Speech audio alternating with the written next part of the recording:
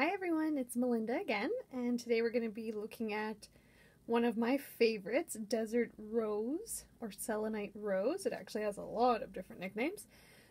um, so Desert Rose, again, is a nickname. It's given to a rose-like formation of crystal clusters of barite and also gypsum. And selenite is a variety of gypsum, so that's why we often see selenite roses. And they're made up of abundant sand grains, which is really fascinating.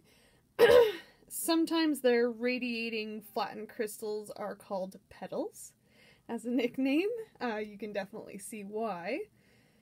And the rosette crystal habit tends to occur when the crystals form in, in an arid, sandy condition, like an evaporated, shallow lake basin or something like that. The crystals form a circular array of flat plates or like I said, petals, giving the rock a shape similar to rose blossoms, hence its name.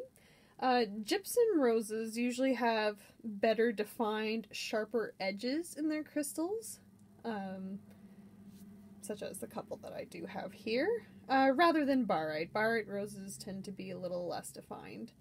Um, and the sizes range about pea sized to 4 inches in diameter. I'm particularly in love with this piece. It is uh, one of my most favorite specimens.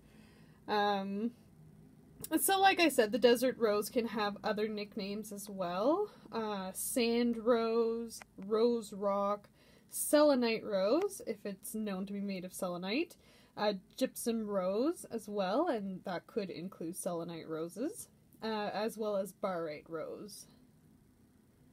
This one here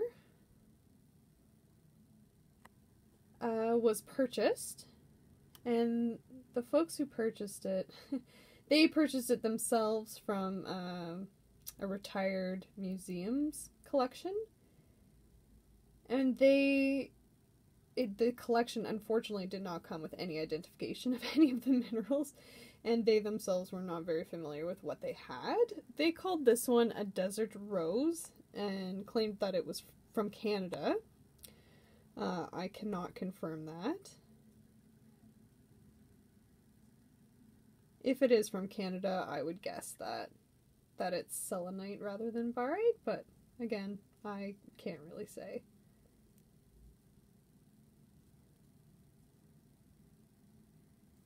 This one is more typical of what you would see in metaphysical stores or rock shops it's a selenite rose as well, still selenite. Um, this one is from Mexico. And it has that uh, really stereotypical look of like a peach inner color with white tips at the edge of all of its petals.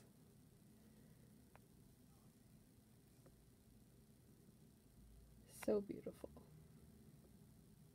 There we go.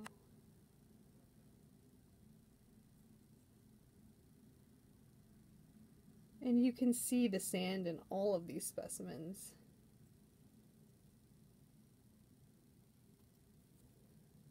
And lastly, my favorite. This is a selenite rose, and it's from Winnipeg, Manitoba, here in Canada.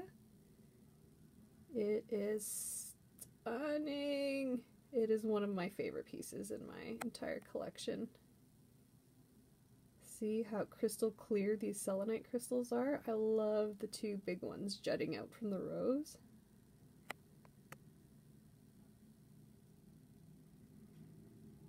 Isn't that absolutely stunning? They're perfectly terminated.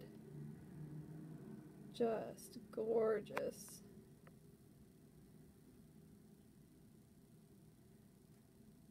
All of the crystals, if you get really close to them, are really, really transparent, really trans translucent.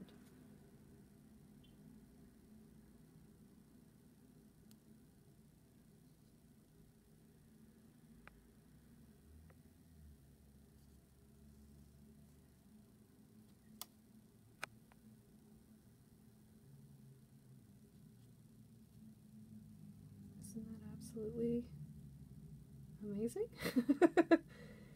earth creates these things. Wow. Right? Amazing.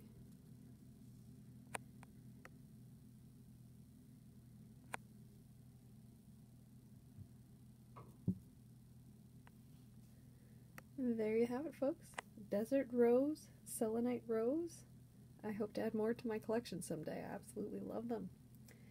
Alright, um, if you've been enjoying my videos, don't forget that they are all posted on my page and on my group. I've done, oh goodness, 11, 12 or so, possibly 13 at this point. Uh, so I've covered a lot of different minerals, and if you're, you know, finding these interesting, please check those out. Thanks so much again for joining me, guys. See you next time.